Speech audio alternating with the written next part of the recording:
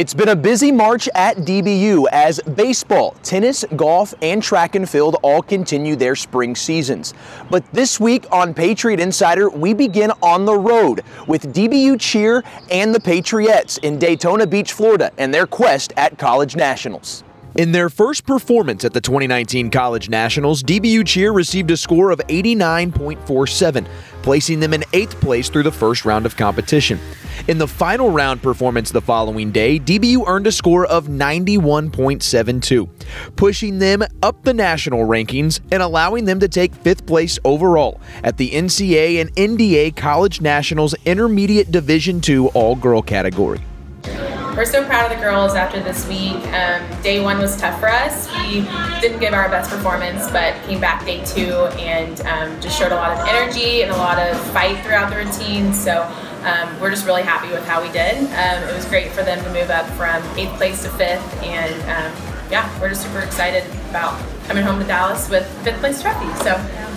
I echo everything Callie said. I think that the girls overcame so much this year so far, and this trip not only did they have a great performance, but they also had a lot of bonding opportunities, a lot of great devotional opportunities, and so I think that the team overall became closer, and it was just a wonderful week. The Patriots pushed through the first day of competition, earning a score of 90.57, which secured them the last of five spots in the College National Finals. On Friday, the Patriots performed against four other teams in the finals and received a score of 92.28.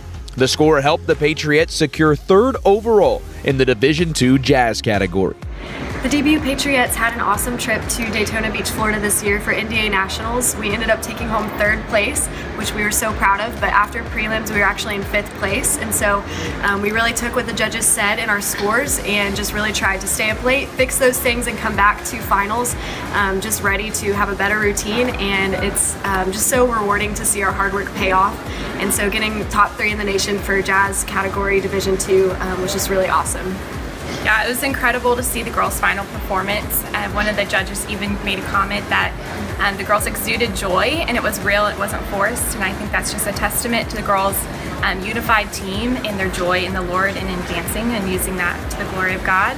Um, so we're super proud of them and couldn't be happier with the ending. Men's golf competed in the DBU Patriot Classic at Hackberry Creek Country Club and finished seventh overall to close out their regular season schedule. Senior Tate Fleming led the Patriots with an 11th place finish, ending with a score of 223.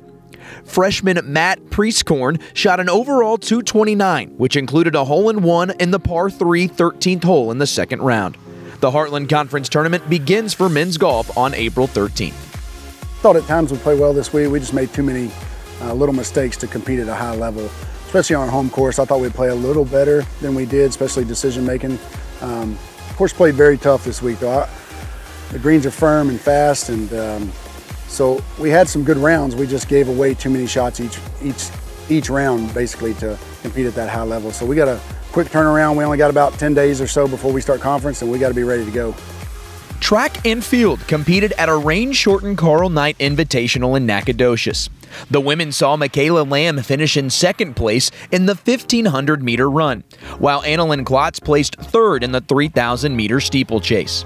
In the men's 1500 meter event, DBU got top five finishes from Noah Metzger and Ivan Hernandez. Angel Luera earned third in the steeplechase, while Benjamin Duong finished fifth in the 5000 meter run. That's all for this week's Patriot Insider. You can follow your Patriots on social media with Twitter, Facebook, or Instagram. You can also follow the action on dbupatriots.com or by downloading the DBU Athletics app in the App Store or Google Play. Thanks for joining us this week. We'll see you next Monday. For Patriot Insider, I'm Brendan Smith.